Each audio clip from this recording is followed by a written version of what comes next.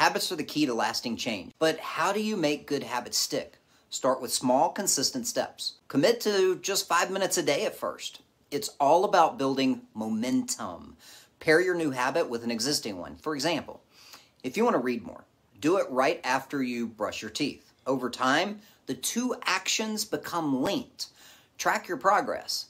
Seeing how far you've come is motivation. Use a habit tracker app or even just a simple calendar to mark off each day that you complete your new habit. It takes time for a habit to become automatic.